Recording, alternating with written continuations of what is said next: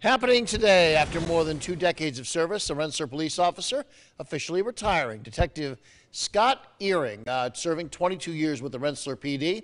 His walkout ceremony, here he is right there, held this afternoon as he's surrounded by family and friends who wished him well in retirement, as do we.